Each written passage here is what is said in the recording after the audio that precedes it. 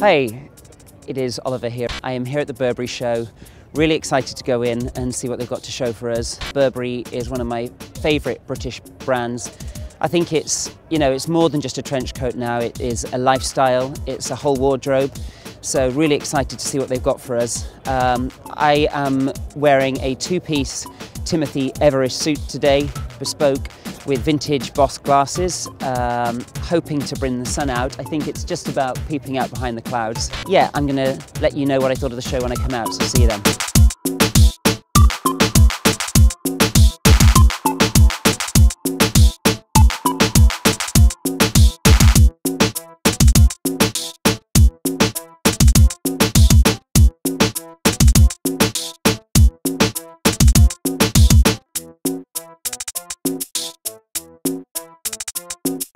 Hey there, so I've just come out of the Burberry show. It was an amazing show, which was pretty much a who's who in the fashion world, including Anna Wintour, who was just in front of me, so nice to see the lady in person.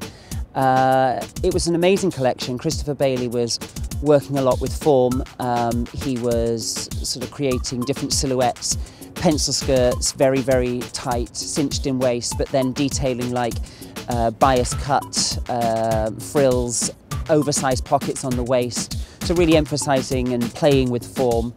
Uh, and then at the end we had uh, our very own rainstorm. They sprayed water onto the roof and then inside flitter came down.